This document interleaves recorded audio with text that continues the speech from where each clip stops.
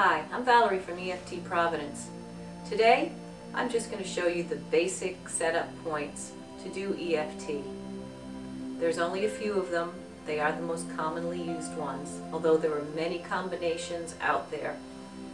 These will work for just about any situation. We start with the karate chop point, which is right in the middle, your hand right here. And you just start tapping there with your setup phrase.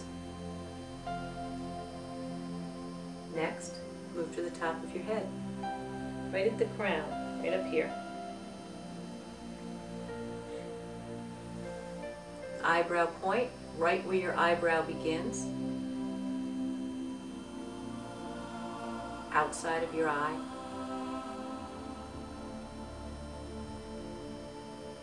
The middle of your eye, right underneath it on the bone.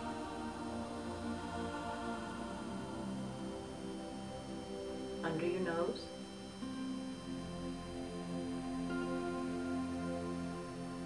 Chin point. Collarbone point. It's right where your collarbone and your first rib meet. If you want to cover both points, you can use a fist and just tap them both.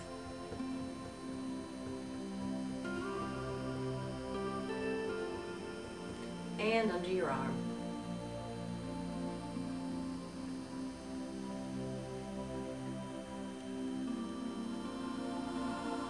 It's a simple sequence. Starts at the hand, moves from the top of the head down. Easy to remember, easy to do. Works in just about any situation.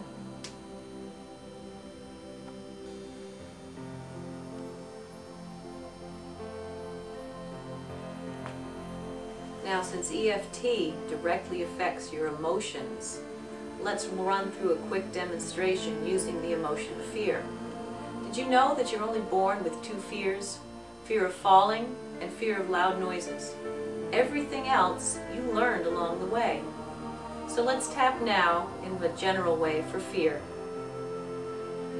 Even though I was born with only two fears, and I have so many more now, I deeply and completely love and accept myself. Even though I know I was only born with two fears, but I seem to have an awful lot of them now, I deeply and completely love and accept myself, and I choose to start eliminating each of my fears. Even though I was born with only two fears, and I have a lot of them now, I choose to start eliminating all my fears. I have so many fears. My fears are holding me back. My fears have stopped me in my tracks. My fears are keeping me from moving ahead.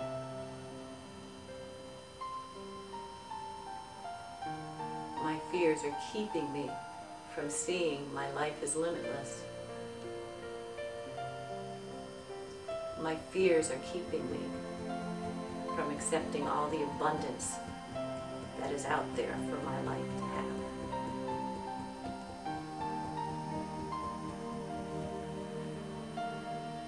My fears are keeping me paralyzed.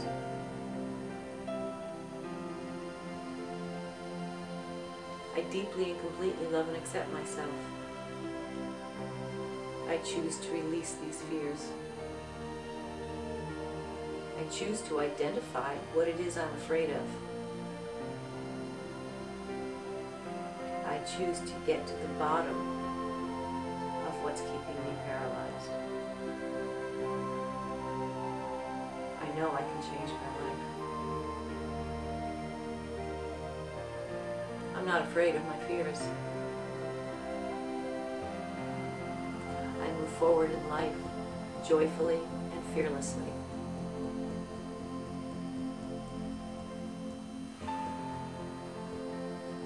Now that was just a very brief demonstration and as you probably noticed we went down one side with what the fear is and down the other side with what the fear isn't. Fear side, I have this fear. The other side, I choose to release this fear. It's that simple. Thank you for joining us. Be well, be happy.